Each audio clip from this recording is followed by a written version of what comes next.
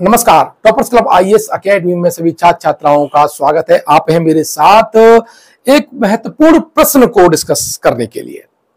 पिछले बारे प्रश्न में भी मैंने आपराधिक न्याय प्रणाली से संबंधित प्रश्न दिया था और इस बार जो मैंने डिज़ाइन किया है, वो ये है कि भारत की आपराधिक न्याय प्रणाली से संबंधित प्रमुख चुनौतियों का उल्लेख कीजिए, क्योंकि मुझे लगता है कि यहाँ से प्रश्न पूछा जा सकता है, इसीलिए मैंने इसे आपके लिए तैयार किया है। देखिए जब भी प्रश्न देखें तो उसे तोड़ना सीखिए। भारत की आपराधिक न्याय प्रणाली से संबंधित प्रमुख चुनौतियों का उल्लेख कीजिए। मतलब सीधा की पॉइंट है, चुनौतियों के बारे में पूछा है। लेकिन आप थोड़ा बहुत आपराधिक न्याय प्रणाली के बारे में दे सकते हैं। और संबंधित जो कोर्ट केसेस हैं, सुप्रीम कोर्ट के या किसी के जो किसी अन्य न्यायालय के, जैसे हाईकोर्ट है, उनके अगर कोई आदेश है कोई निर्णय है तो उनका भी हम ज़िक्र कर लेंगे और बाद में फिर हम निष्कर्ष लिख लेंगे। जैसे भारत की आपराधिक न्याय प्रणाली का उद्देश्य समाज में कानून व्यवस्था बनाए रखना और अपराधियों को उचित दंड देना है।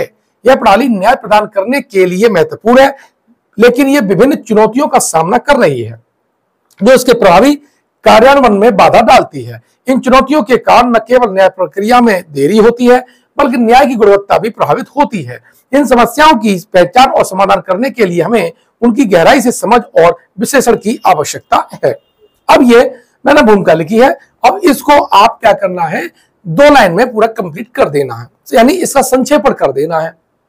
इससे क्या है? आपकी जो भाषा शैली है, वो अन्य छात्रों से अलग होगी और सब अपना अपना अलग करेंगे तो फिर एक रूपता नहीं रहेगी। ठीक है? ये करना भी चाहिए।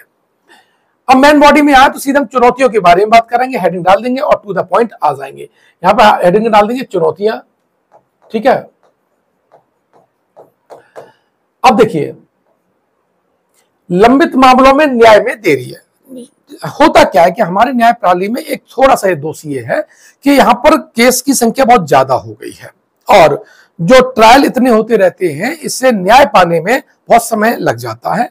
तो पहला जो आपका हेडिंग है, वो है लंबित मामले और न्याय में देरी। लंबित मामलों की विशाल संख्या है और अगर जुलाई 2000 2023 तक की बात करें तो 5.02 करोड़ से अधिक ये केसेस भारतीय न्यायपालिका में दर्ज हैं। जिनमें ट्रायल चल रहा है, ये न्याय गतिरोध भी पैदा करती है, जो प्रणाली को अपंग बना देती है। और ध्यान रखिएगा, अगर विलंबित मामला समय पर न्याय प्रदान कर सकने की प्रणाली की विफलता को ही दर्शाता है। या कोई भी अगर मामला जो लेट है वो क्या है ये प्रणाली को क्या असफली करता है? और इसमें जो इंग्लैंड के एक न्यायविद हैं और वो पूर्व प्रधानमंत्री भी थे विलियम एडवर्ड ग्लैड इनका कथन आप ज़रूर लिखिएगा। जब भी आप सोशल जस्टिस की या, या न्यायपालिका की बात आए तो ये इनका कोटेशन बहुत महत्वपूर्ण है कि विलंबित न्याय न्याय से वंचना के समान है। Justice delayed is justice denied. इसको आप लिखेंगे तो मुझे लगता है कि आपका जो आंसर है वो बहुत अच्छा माना जाएगा। कुल मिलाकर के इस पॉइंट का मतलब ये है कि विलंबित न्याय जो है या न्याय में जो देरी है, वो हमारी जो न्याय प्रणाली है, उसका एक नकारात्मक पहलू भी है। जो कि केस की संख्या ज़्यादा होने से उसकी प्रणाली जो हमारे पास जो तकनीकी है जजों की संख्या है उसको ध्यान में रखते हुए हमारे जो केसेस हैं, बहुत ज़्यादा लंबे हो गए हैं। मतलब वो ट्रायल भी चल रहे हैं। अगर आप सोचिए 5.02 करोड़ को न्याय देने में कितना समय लगेगा? तो हमारी न्यायपालिका के सामने चुनौती भी है कि इन केसों को कैसे निपटाया जाए, जजों की संख्या बढ़ाई जाए। उदाहरण के लिए मैं बात कर लेता हूँ कि बरेली का एक मामला था और वहाँ के जो फास्ट ट्रैक है फास्ट ट्रैक में मोस्टली क्या होता है कि एक साल के अंदर न्याय दिया, दे दिया जाता है फास्ट ट्रैक है। अब उसने कितना समय लिया? पंद्रह यानी एक हज़ार पाँच सौ उनसठ दिन लिए, जो एक वर्ष की समय सीमा से लगभग चार गुना अधिक है। इस तरह की देरी शीघ्र सुनवाई के अधिकार, यानी राइट टू स्पीड ट्रायल जिसे सर्वोच्च न्यायालय ने अब यह केस बहुत इंपॉर्टेंट है। एन एस साहनी बनाम भारत संघ मामले में अनुच्छेद 21 के तहत मूल अधिकार के रूप में मान्यता दी थी। उसका भी उल्लंघन है। मतलब सीधा सीधा कहा गया कि जो राइट टू स्पीडी ट्रायल शीघ्र सुनवाई का भी क्या है आपका अधिकार है? और सुप्रीम कोर्ट ने इसे घोषित भी किया है। इसका आप उल्लेख कर देंगे। अब अपर्याप्त संसाधन और अवसंरचना इंफ्रास्ट्रक्चर है, और हमारे पास संसाधन भी नहीं है, यानी न्यायपालिका के भी पास इतने संसाधन नहीं है कि वो इनको जल्दी निपटा सके, यानी इन केसों को जल्दी निपटा सके। यहाँ पर करते हैं। दिसंबर 2023 तक अगर इस स्थिति को देखा जाए तो भारत में प्रति मिलियन जनसंख्या पर केवल 21 न्यायाधीश उपलब्ध है। अब आप बताइए, इतने केस है और जजों की संख्या कितनी है? 21 है। यह कमी में एक संख्या को इंगित नहीं करती है, बल्कि इसका तात्पर्य कि न्यायाधीशों पर अत्यधिक काम का बोझ पड़ जाता है, जल्दबाजी में की जाने वाली सुनवाई और समझौतापूर्ण जो निर्णय है, ऐसी चीज़ें आती है सामने। अब एक व्यक्ति से कितना लोगे? अब जज भी तो आखिर इंसान ही है ना। कितना वो काम करता रहेगा? इसीलिए वो भी थोड़ा निष्क्रिय हो जाते हैं जल्दबाजी निर्णय कर लेते हैं। अधीनस्थ न्यायपालिका में पैंतीस परसेंट उच्च न्यायालयों में पद रिक्त है। यानी अधीनस्थ न्यायपालिका में अगर देखा जाए तो थर्टी फाइव परसेंट पद रिक्त हैं और उच्च न्यायालय में तो काफ़ी पद रिक्त हैं। अपर्याप्त कर्मचारी बल भी है और सुविधाओं के कारण गुणवत्ताहीन जाँच कमज़ोर अभियोजन और न्याय देरी की स्थिति बन जाती है। मतलब यह कहने का है कि हमारे संसाधन कम है जजों की संख्या कम है इससे भी न्यायपालिका न्याय दे, देने में देरी कर देरी मतलब देरी करती है या कहीं देरी उनसे हो जाती है। पुलिस बल का राजनीतिकरण है। बहुत महत्वपूर्ण पॉइंट है, इसको आप ज़रूर लिखिएगा। प्रकाश सिंह बानम प्रकाश सिंह बनाम भारत संघ 2006 के मामले में न्यायपालिका के द्वारा अन्वेषण कार्य को विधि एवं व्यवस्था संबंधी कर्तव्यों से अलग करने का आदेश दिया गया था। लेकिन ऐसा हुआ नहीं। 2021 में आपने देखा होगा कि लंकीमपुर खीरी हिंसा मामला, जब था वो टॉनी जो कि मिश्रा था, और उसने किसानों को अपनी थार गाड़ी से कुचल दिया था। उसके प्रारंभिक जाँच में देरी हुई। अब देरी क्यों हुई? क्योंकि वो मंत्री का लड़का, भाई था लड़का था, जो भी हो मतलब सीधी सीधी कहने का मतलब है, पुलिस पर राजनीति का दबाव था। और शायद वो केंद्र में मंत्री भी था। तो राजनीतिकरण की वजह से भी हमारे जो निर्णय है, यानी पुलिस की जो जाँच है, वो प्राप्त हो जाती है। भारतीय राजनीति में एक ये खराब तथ्य ये भी है। यह राजनीतिकरण निष्पक्ष जाँच को कमज़ोर करता है, विशेषकर उन मामलों में जिनमें प्रभावशाली व्यक्ति संलग्न हो। अब आप अंदर लगा लीजिए। निर्णय बदल दिए जाते हैं। पूना में एक लड़के ने दारू के नशे में कुचल डाला एक व्यक्ति को और उसकी सारी जाँच रिपोर्ट बदल दी गई। और उसमें बाकी एक जो जज थे, उसने एक निबंध लिख करके बच्चे को छोड़ दिया। ये बहुत गलत संदेश गया था इसमें। द्वितीय प्रशासनिक सुधार आयोग की अगर मैं बात करूँ तो द्वितीय प्रशासनिक सुधार आयोग ने पाया था कि पुलिस जनता संबंध असंतोष, असंतोषजनक स्थिति में है, क्योंकि लोग पुलिस को भ्रष्ट, अकुशल, राजनीतिक रूप से पक्षपातपूर्ण और अनुत्तरदायी मानते हैं। जमानत अपवाद के रूप में, नियम के रूप में नहीं होनी चाहिए। बालचंद उपबलिया केस बनाम राजस्थान राज्य उन्नीस सौ अठहत्तर में सर्वोच्च न्यायालय द्वारा जमानत को, नियम और जेल को अपवाद बनाने के निर्देश के बावजूद वास्तविक स्थिति ठीक इसके उलट है। भारत की जेलों में पचहत्तर परसेंट से अधिक कैदी विचाराधीन है ट्रायल भी वाले हैं। जबकि जेल अपनी कैपेसिटी से ज़्यादा कैदियों को रखे हुए हैं, यानी वो 130 प्रतिशत अधिभोग, यानी ऑक्यूपेंसी के स्तर पर संचालित है।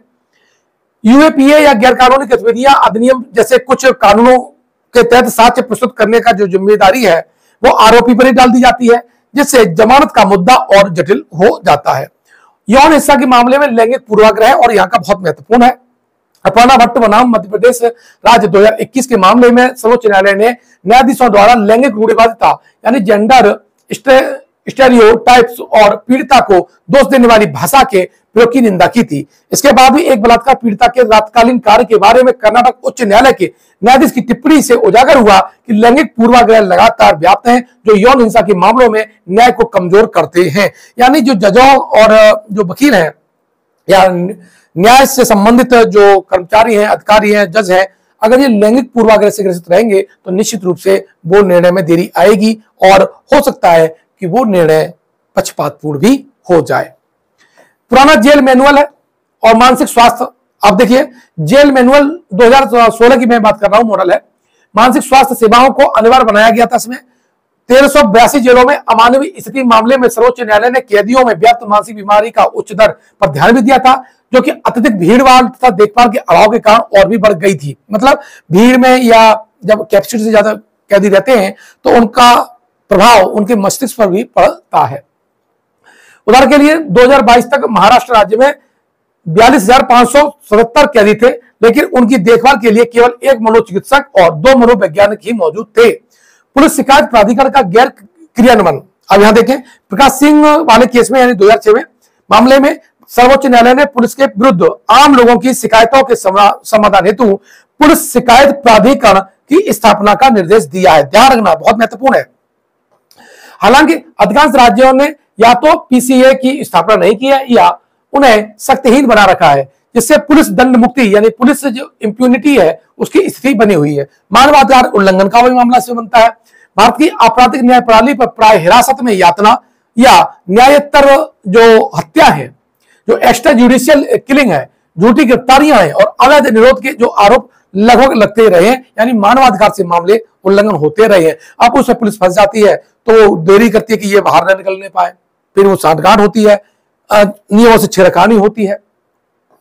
वर्ष 2021 और 22 के दौरान पुलिस हिरासत में मौतों के 175 मामले सामने आए हैं। निष्कर्ष की देखे जाए तो भारत की आपराधिक न्याय प्रणाली कई महत्वपूर्ण चुनौतियों का सामना कर रही है, जिनके समाधान के लिए समग्र और संगठित प्रयासों की आवश्यकता है।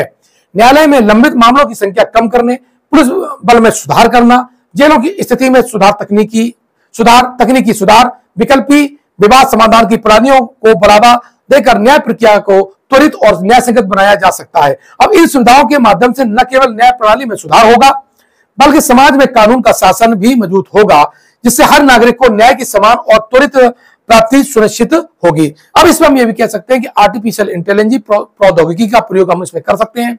ठीक है? तो ज़्यादा से ज़्यादा प्रौद्योगिकी का प्रयोग, डिजिटल इक्विपमेंट का प्रयोग और जजों की संख्या बढ़ा करके इंफ्रास्ट्रक्चर को सुधार करके और हेल्थ के लिए, कैदियों के लिए अच्छे डॉक्टर और पर्याप्त मात्रा में डॉक्टर स्थापित करके इस प्रणाली को सुधारा जा सकता है। साथ ही समय समय पर ट्रेनिंग पब्लिक की जो जागरूकता है, उसको भी बढ़ा करके इस नया प्रणाली को सुधारा जा सकता है। वीडियो कैसा लगा, आप मुझे कमेंट बॉक्स में ज़रूर बताइएगा। और मैंने आपको पहले बता दिया कि हम, हमारा जो पीसीएस का जो जीएस पेपर टू है, वो स्टार्ट हो चुका है। मेंस के लिए क्या करना है आपको? डाउनलोड करना है mobile application toppers club I S academy है जीएस पेपर टू है, ठीक है? और टेलीग्राम को ज्वाइन करना है तो लिंक कमेंट बॉक्स में और डिस्क्रिप्शन बॉक्स में दे रखी है। जिन छात्रों को ज्वाइन करना है, वहाँ से ज्वाइन कर सकते हैं। ध्यान रखिएगा हमारा पहले, मैं पहले ही बता दूँ आपको कि मैं कोई पूर्व रिकॉर्ड करके वीडियो उसमें नहीं डालता हूँ। मतलब पहले मैं पर डे उसमें रिकॉर्ड करके वीडियो डालता हूँ, ताकि आपके पास इस साल का करंट डेटा के साथ आंसर यानी जो मॉडल आंसर है, आपको मिल सके। तो आप ये मत समझिएगा कि आप जैसे उसमें एंटर करेंगे तो इकट्ठे 500 वीडियो मिल जाएँगे। ऐसा नहीं है। Step by step unit by unit आपको वीडियो मिलेंगे, और वैसे ही आपको नोट्स मिलेंगे। ठीक है? मिलते हैं नेक्स्ट वीडियो में। बहुत बहुत धन्यवाद।